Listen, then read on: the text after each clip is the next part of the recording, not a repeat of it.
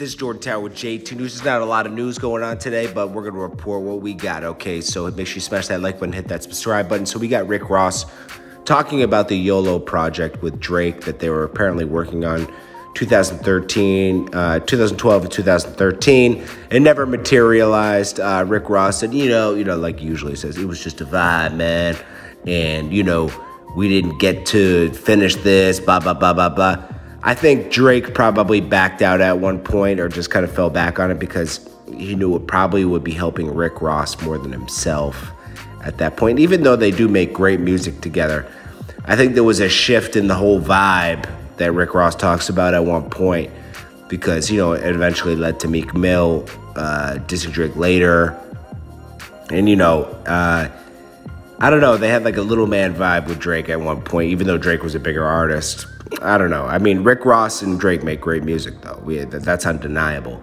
So uh, I kind of wanted to hear that project, but it seems like every Rick Ross joint project kind of fell through. Even the Birdman project fell through. Uh, and then recently, Rick Ross has been uh, desperate to do a song with Lizzo for some reason. He offered Lizzo free Wingstop if, or so, something with Wingstop, and then he'll do a whole song with her or something. It's like, dude, I don't think anybody's super desperate to do a Rick Ross feature at the moment, even though he's an amazing artist.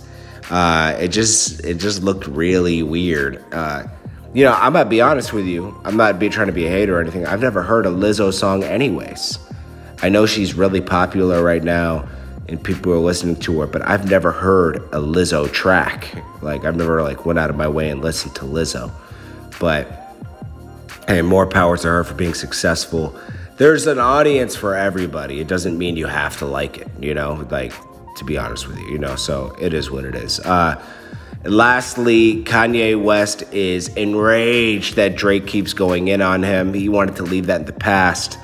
You know, Drake had the best comeback, uh, what was it, last year with the Kiki song.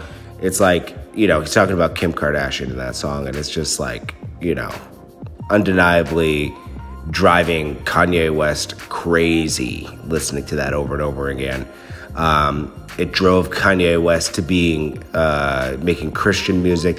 This is his new gaffle. Uh, Drake had said, I don't know if he's ever going to make secular music again.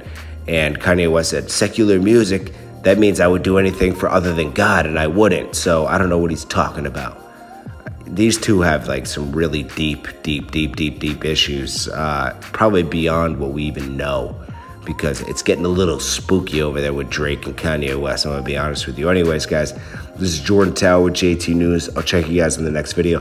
News has been a little bit calm this weekend, which is fine. I'm I'm not feeling that well, anyways, but I appreciate you guys, and I hope you guys are doing great. I'll check you guys in the next one. Peace.